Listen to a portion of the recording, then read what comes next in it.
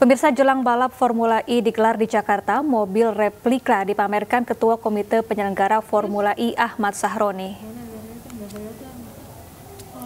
Unboxing atau membuka kotak kayu berisi mobil Formula E replika dilakukan Ahmad Saroni di Velodrome Rawamangun, Jakarta Timur. Menunjukkan ke publik mobil balap listrik ini disajikan agar euforia Jakarta e-Prix semakin besar. Rencananya Formula E atau balap mobil listrik akan digelar pada 4 Juni mendatang di sirkuit Ancol, Jakarta Utara.